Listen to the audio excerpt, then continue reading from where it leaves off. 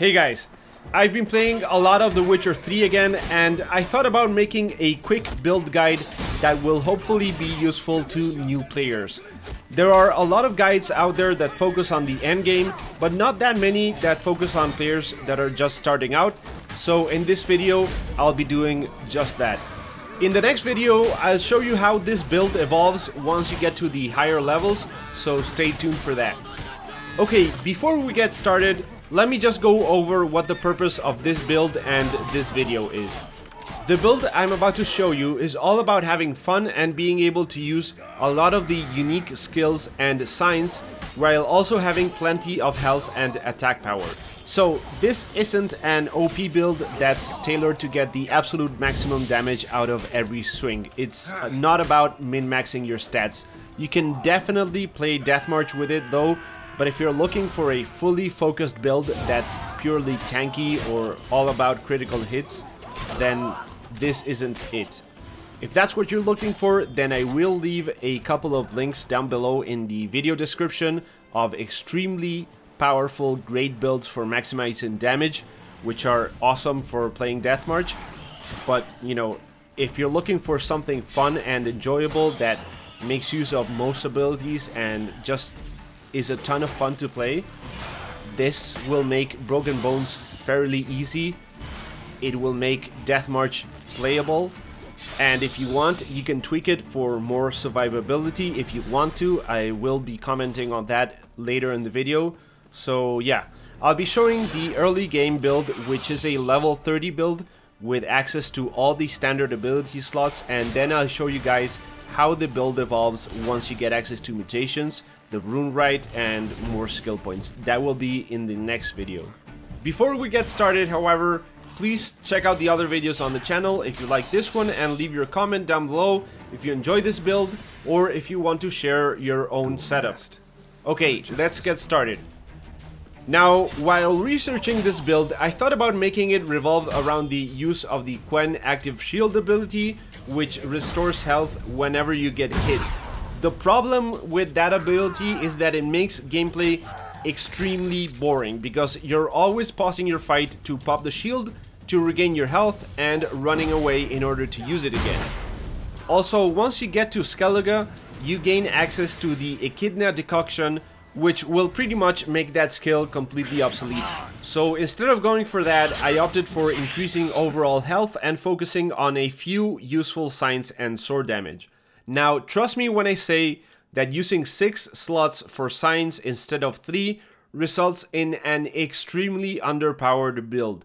Dealing proper damage becomes a major problem, so battles tend to last much longer, which results in you using the active shield much more to get your energy back. And overall, I don't think it's a very fun build to play. If you want to try it out, this is what I would go for.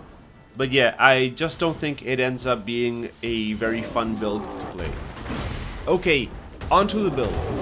Now, I'm showing this build with some of the skill points missing on purpose to show what it would look like if you're still building this around level 30. So, first off, we get the buff for using medium armor to get increased stamina regeneration, which will allow you to use signs and special moves more often.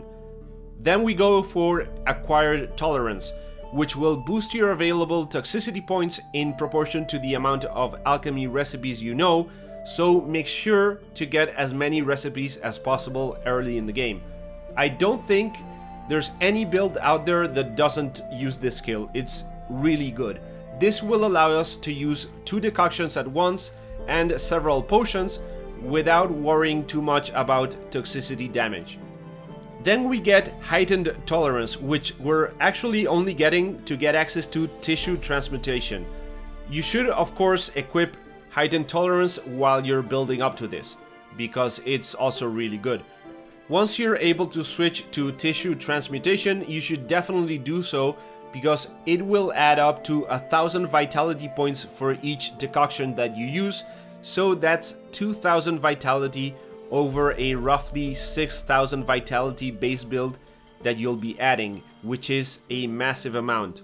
Next up we have our signs, We'll be taking Delusion, which is great for stunning single targets, and it's also really useful during dialogue options.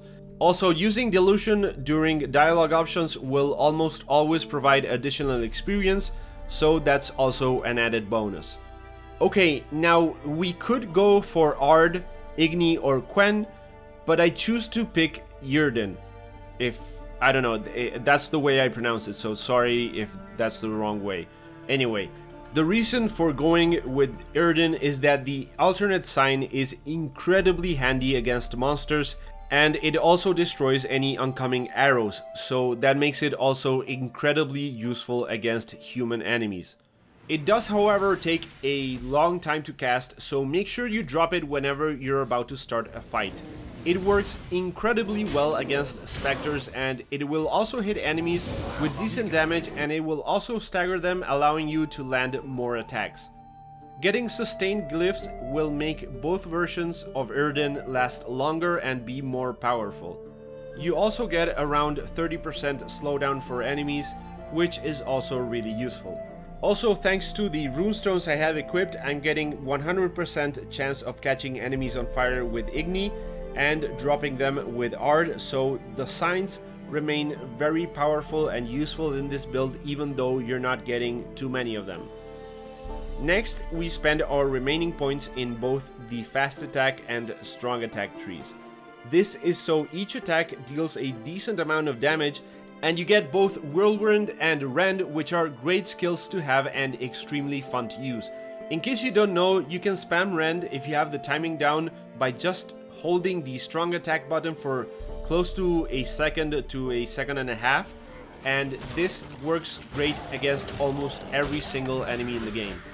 Now, you could get other skills and maybe focus on either fast attacks or strong attacks, but I personally really enjoy using both of them, so that's what I'm going with here. Okay, in terms of equipment, you should get either the Superior Wolven gear or the Griffin gear. Wolven Skull gear will provide buffs to both attack power and sign intensity, while Griffin focuses mostly only on sign intensity. I'm using Wolven though because I really don't like the way Griffin armor looks. It's, I don't know, it looks horrible to me.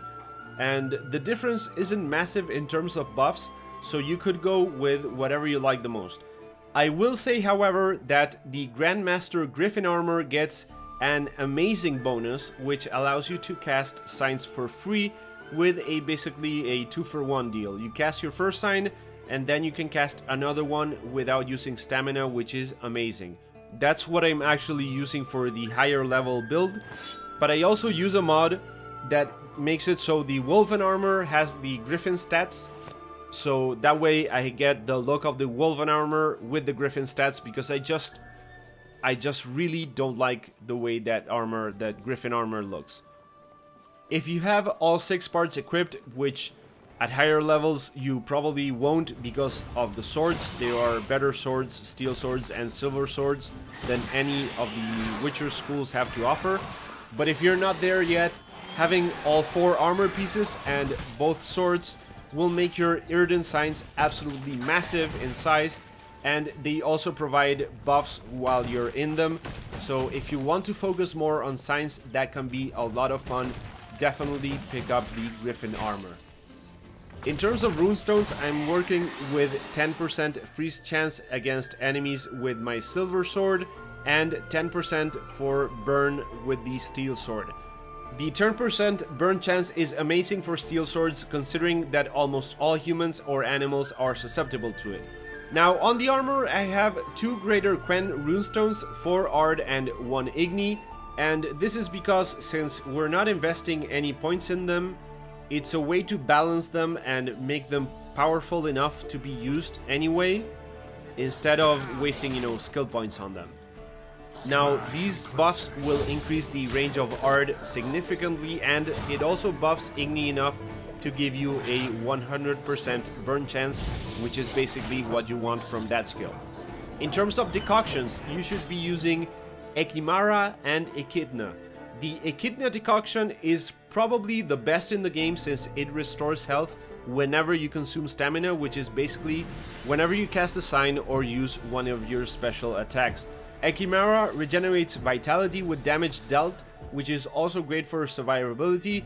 Now, if for whatever reason you still don't have one of these, the Night Wraith decoction is also incredible. It adds 50 vitality for each foe slain until you meditate or fast travel. This adds up really fast if you're questing or facing multiple enemies and before you know it you'll have 1000 more vitality points or more. Another great decoction is Water Hag which deals 50% more damage when you're at full health.